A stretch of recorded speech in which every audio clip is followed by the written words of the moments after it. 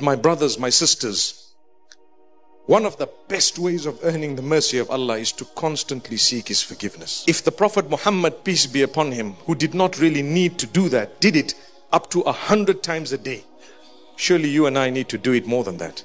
Oh Allah, forgive my shortcomings. Oh Allah, forgive all my brothers and sisters for whatever shortcomings they may be having.